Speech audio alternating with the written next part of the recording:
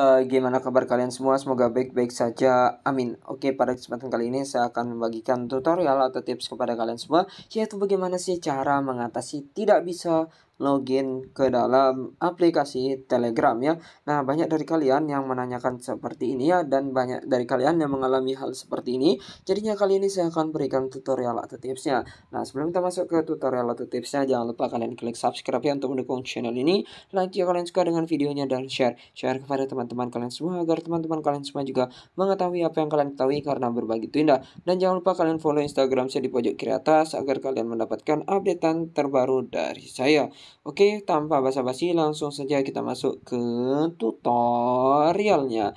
Nah, jadinya jika teman-teman mengalami masalah yaitu unable to send SMS atau kalian tuh tidak bisa login ya uh, di dalam aplikasi Telegram ini, Jadinya di sini yang pertama kali yang kalian bisa harus lakukan yaitu kalian tuh coba cek koneksi internet kalian ya.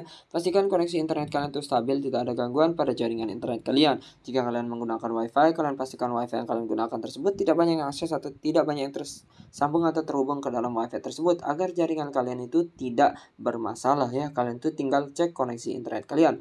Kemudian di tips yang kedua yang saya bisa share kepada teman-teman, yaitu kalian tuh bisa klik dan tahan pada aplikasi Telegramnya. Kemudian di sini ada pilihan yaitu info aplikasi. Nah di info aplikasi ini kalian tuh tinggal klik saja, kemudian kalian akan dibawa ke tampilan seperti ini. Nah di sini langkah yang pertama yang kalian bisa lakukan, yaitu di sini ada pilihan yaitu namanya penggunaan penyimpanan. Nah, di fitur penggunaan penyimpanan ini kalian tuh bisa mengklik hapus cheat ya pada aplikasi Telegram ini. Tujuan dari menghapus cheat ini agar sistem yang ada di dalam aplikasi Telegram ini kembali normal seperti awal ya. Kita klik saja hapus cheat. Kemudian di sini kita kembali dan di sini langkah yang selanjutnya yang kalian bisa lakukan, kalian tuh tinggal klik saja paksa berhenti pada aplikasi Telegram ini.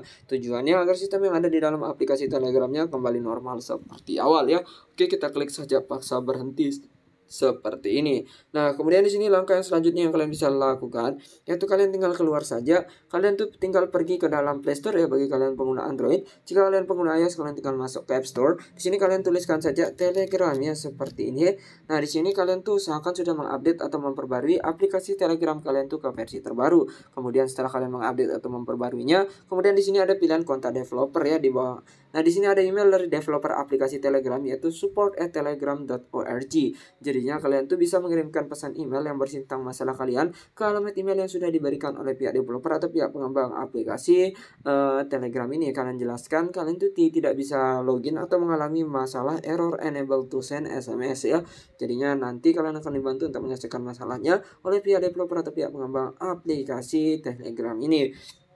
Oke, oke mungkin sekian tutorial atau tips atau bagaimana cara mengatasi tidak bisa login atau ada tulisannya unable to SMS di dalam aplikasi Telegram ini. Semoga tutorial atau tipsnya bermanfaat. Jika tutorial atau tipsnya bermanfaat, share ke teman-teman kalian semua. Jika ada yang kurang jelas atau kurang kurang paham, kalian tinggal tulis di kolom komentar. Jika ada request tutorial atau tips kalian tinggal tulis di kolom komentar. See you next time and bye.